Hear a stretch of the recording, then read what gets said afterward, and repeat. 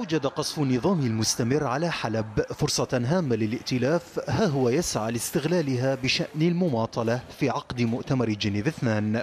فرئيس الائتلاف أحمد الجربة كان قد سعى سابقا لتأجيل المؤتمر دون جدوى. والآن يقول الأمين العام للائتلاف بدر جاموس إن القصف المستمر على حلب سيعيد نظر الائتلاف في المشاركة في جنيف على الأقل. هذا إن لم يتخذ قرارا أصلا بعدم المشاركة. وبحسب أعضاء في الائتلاف فإن القرار الجديد يعتمد على عوامل هي تقويم الموقف السياسي والإقليمي الدولي وتوفر الضمانات الكافية لنجاح العملية السياسية وتشكيل هيئة سياسية من دون الأسد إضافة إلى مدى التزام النظام بمقررات المؤتمر. هذه العوامل في واقع الأمر تعيد جنيف إلى نقطة البداية وهي بنظر المجتمع الدولي غير قابلة للتحقق خصوصا فيما يتعلق بمخرجات المؤتمر.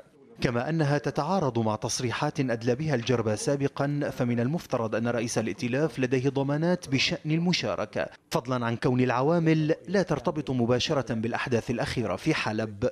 ويعلق الائتلاف بحسب تصريحات قياديين فيه القرارات الجديدة على رد فعل الداخل إذ أرسل مفدين له لاستطلاع الآراء ومشاركتهم في وضع التصور الجديد. لكن وكعادتها تصريحات الائتلاف تأتي غامضة دون إيضاح من هم الداخل وكيف ستتم العملية.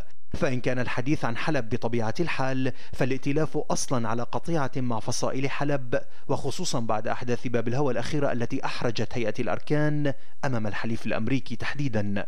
يرجح معلقون أن يكون حديث الائتلاف عن الداخل شماعة ليس إلا لتأجيل انعقاد المؤتمر في ظل تغير المواقف الدولية ويمكن القول تراجع الدور الأمريكي كثيرا في الملف السوري وتحديدا فيما يخص مشاركة الائتلاف في مؤتمر جنيف.